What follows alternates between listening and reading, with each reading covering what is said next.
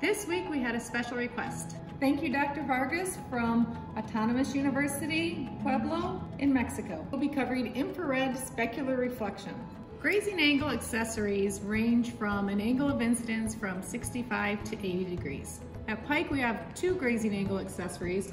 One, the 80Spec, it's fixed angle, 80 degrees. The other is the VeeMAX, it's variable angle, and we can adjust the angle from 30 up to 80. Let me illustrate why we use a grazing angle accessory for monolayers and ultra-thin films. So when we're at grazing angle, the angle comes in and it's gonna reflect. So we have a nice long path length through the sample.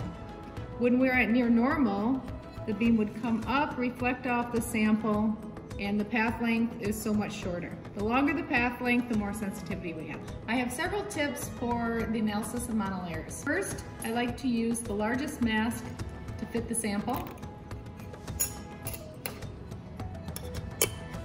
Also, you'll need to use a polarizer to create p-polarization. This helps amplify the IR signal. The reason why is a topic for another tip. Most likely, you're going to need an MCT detector because the signals for monolayers are extremely small. And the last tip is collect a lot of scans to average out the noise. I would say three to five minutes of data collection. I hope you found today's video helpful. If you have other suggestions, please let us know, and we look forward to next time.